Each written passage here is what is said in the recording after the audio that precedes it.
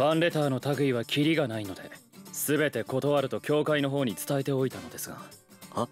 埼玉先生を伝達役に利用するとはなんて姑息な。あいや手紙くらい読んでやれよ。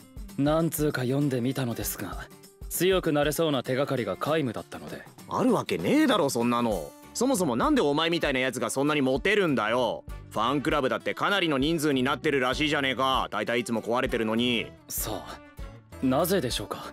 戦闘力という面でファンが増えるなら先生がぶっちぎりでスーパースターになっているはずですが原因があるとすれば。なんだよ。人の顔じっと見て。なんだその目は。おい視線を上に向けてなんだ。おいどこ見てる。やはり外見か。頭から生えてるその強化繊維全部むしり取ってやろうか俺だってな人気を取ろうと意識してなかっただけでやればできるんだよ。磨けばピッカピカに光る原石なんだよ。いや頭のことじゃねえわ。頭頂部を見るな。一旦そこから離れろ。すみません。つい。よーしわかった。こうなったらマジでイメチェンしてやる。お前よりファンレターもらってやる。おい埼玉。宿題をやってないとはどういうことだ？完全に忘れていたので今からやります。今からは授業だろうがお前バカなのか？ん？入学3日目。もうすでに出遅れてるって気づいてないのか？この遅れはもう取り戻せないんだぞ。分かってんのか？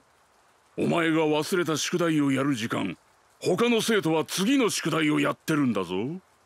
小さな歯車でもずれたら10年後に大きく響くんだ。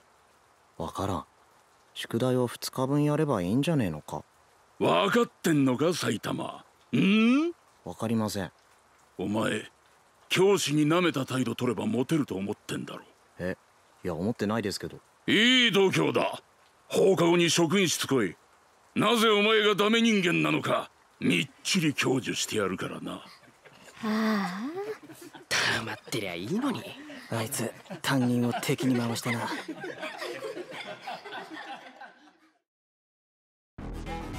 この宇宙にはこの世界とは別のもう一つの世界パラレルワールドが存在する。これはそんなパラレルワールドを生きるもう一人の俺埼玉と。先生ともう一人のジェノス。宇宙最強の名コンビが繰り広げる。空前絶後にして疾風怒涛のスクールライフを描いた。全宇宙が泣いた。いや泣き叫んだ。一大スペクタクル巨編である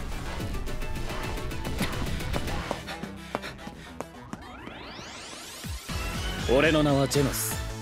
ごく普通のサイボーグ中学生だ。中学生は普通サイボーグじゃねえだろ。その日の朝。遅刻しそうになっていた俺は。